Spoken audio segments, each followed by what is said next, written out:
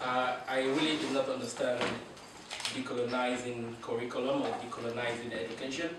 Uh, at the point when uh, Andrea asked me if I would be interested to, uh, to take on the challenge to see if I can look into how School of Global Studies could decolonize its education. And uh, it's, it's, uh, it's like a being drop in the middle of the ocean, and I don't really know where to start. Um, and then I, I try to look at what is happening at, at different universities and different uh, institutions across the world.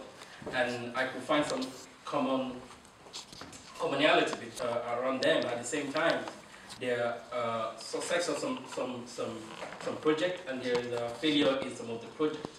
And, uh, uh, and, and there's, in the, in, in, while I was working that out in my mind, uh, I realized that uh, Sussex is a kind of a historically radical university that was actually set up in the 60s to basically, in the, in the, in the, uh, in the uh, peak of uh, decolonizing the global south.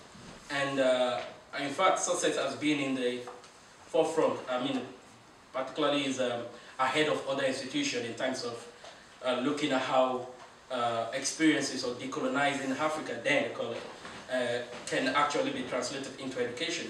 And uh, in the 70s, there is a Professor um, Grillo, Raphael uh, was the head of school then, and he made a conscious effort to to to uh, to decolonize the institution at that point in time by setting up African and uh, Asian studies, yeah, Af uh, AFRAS, yeah, and uh, I, I, got to see him and I got to speak to him about why he, intended, he thought that was necessary at that point in time in the 70s. You know, people are just talking about decolonizing Africa there, but actually not really.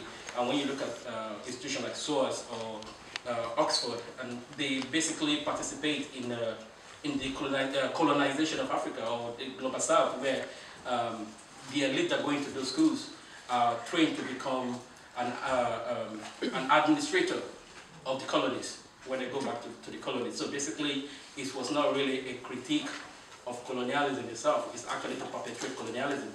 And uh, Sussex was doing the opposite of that.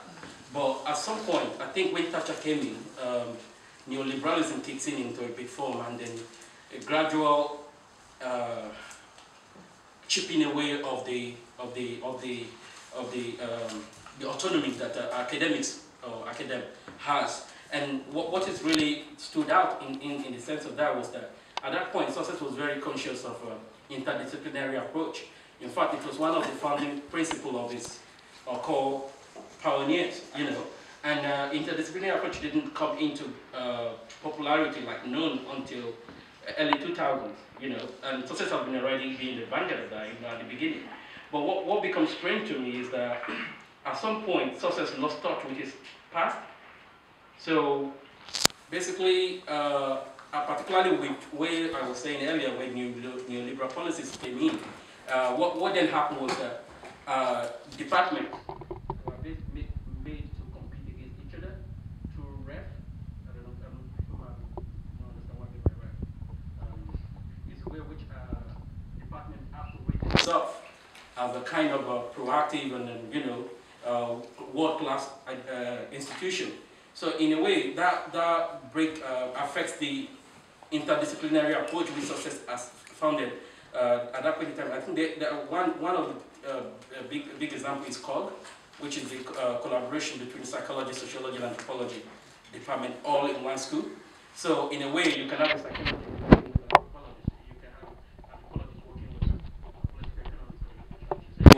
that was the idea then, but then when REF kicks in, and Sussex basically split the whole schools into different ways because every department have to should be uh, economically viable.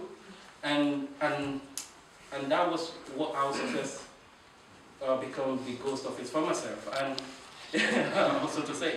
And yeah, I, I hope uh, when I have the time to speak, I'll probably explain more on what I found. But that was the, the starting point for me to really realize what has gone wrong.